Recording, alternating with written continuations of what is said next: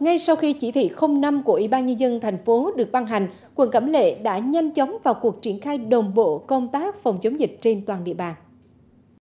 Hiện quận Cẩm Lệ có 27 chốt kiểm soát phòng chống dịch hoạt động 24 trên 24 giờ.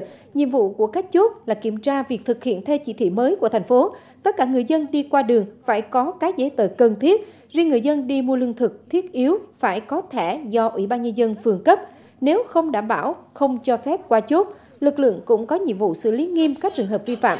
Theo quan sát, trong sáng ngày hôm nay ngày 1 tháng 8, có nhiều trường hợp đã được yêu cầu quay đầu xe vì không có giấy tờ hợp lệ theo quy định chỉ thị 05 của thành phố.